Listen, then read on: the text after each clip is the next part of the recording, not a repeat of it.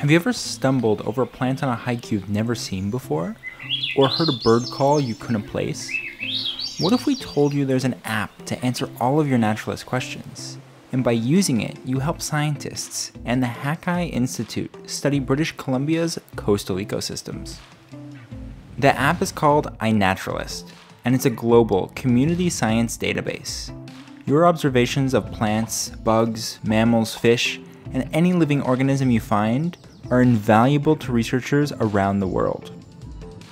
Thanks to almost 20,000 naturalists like you, there are now over 700,000 observations throughout British Columbia. But there are still gaps in the database, both geographically and ecologically. That's where we come in. The Hakai Institute is a coastal science research organization based in British Columbia we're integrating iNaturalist into our work to better understand one of British Columbia's most diverse regions, the Discovery Islands. We're logging our findings with iNaturalist to discover what life can be found in the region.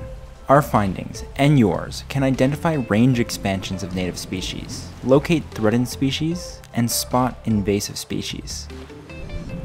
iNaturalist can also be used to monitor diseases like sea star wasting disease, which is causing this Pisaster to fall to pieces. This data can guide scientific studies and help guide conservation policy.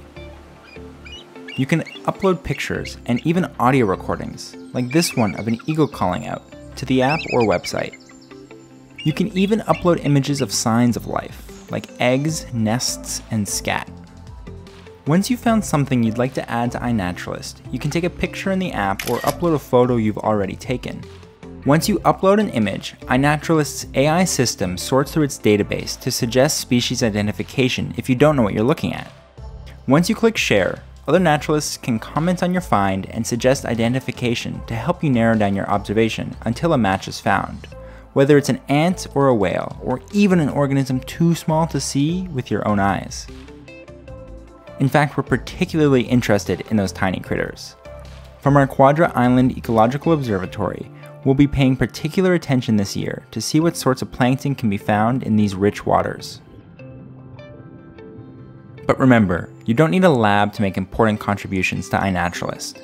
We need community scientists like you to collect data too. The more data collected, the more data can reveal. And it's easy to get involved. Just download the iNaturalist app from the App Store or Google Play Store, grab your phone or camera, and head outside.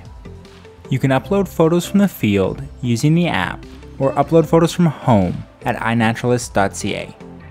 Using iNaturalist is a great way to learn about your local environment, connect with other naturalists, and share your knowledge, all while contributing to science. So what are you waiting for? Grab your phone, lace up your boots, and join Hakai in using iNaturalist. Who knows what we'll discover?